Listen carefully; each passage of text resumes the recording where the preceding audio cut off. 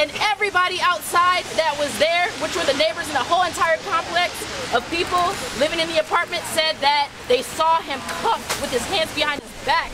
He was laying there on the ground, not doing anything, not resisting. He was cuffed.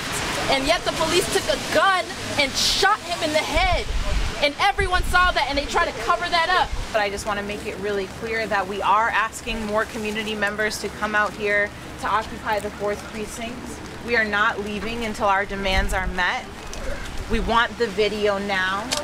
Uh, you know, I, um, I know a lot of people in the Black Lives Matter movement, and growing up in this city, I know the realities for communities of color, and I know the harsh realities that we live with on a daily basis.